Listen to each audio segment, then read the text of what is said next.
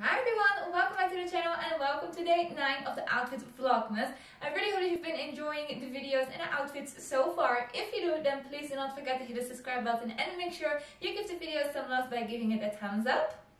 Today I have another style video for you guys and to be honest, I really like doing these style videos because for me it's actually kind of sort of therapy because I have to go to my closet and get um, all the items out for the outfit that I'm going to show you. But I'm also trying to recreate new outfits for myself. So this has been like quite a good fashion journey for myself and I yeah I'm really liking it so today's outfit I've actually paired up a couple of days ago uh, I also got a compliment on it and I really like it myself and that's kind of like what counts the most so yeah I'm gonna show you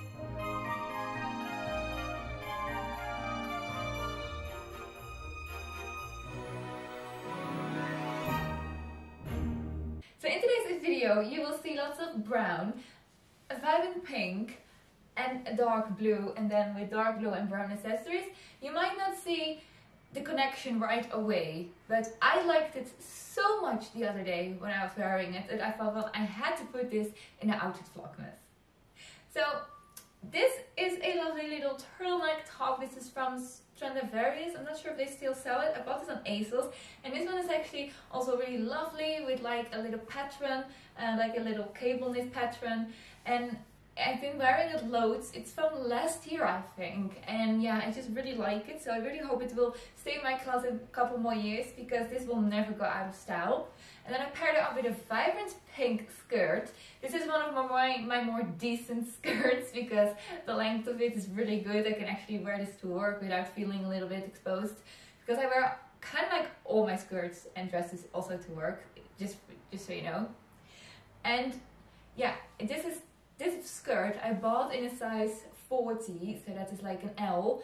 Uh, I do not have a regular L, but I really like the skirt so much.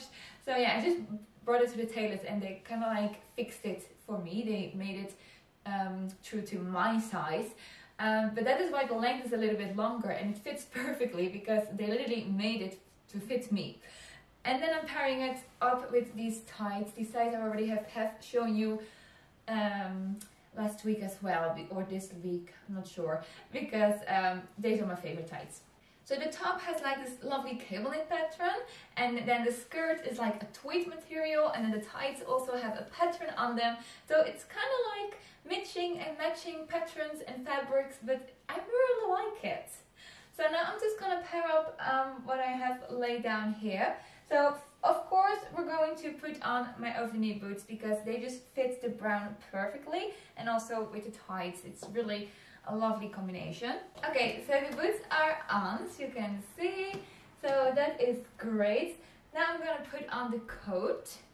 So the coat is from Bonprix and I bought this um, not last summer but the summer before because when it was summer it was uh, on sale. I'm not sure if they still do this one. They did it for the longest time so I will check if they still do this one. But it's such a nice coat. It's like a peplum effect here with uh, sort of like different layers. Uh, yeah, it's just so sweet. I absolutely love this coat. It's like a military style, but I am thinking of changing the buttons. I think I've said that before.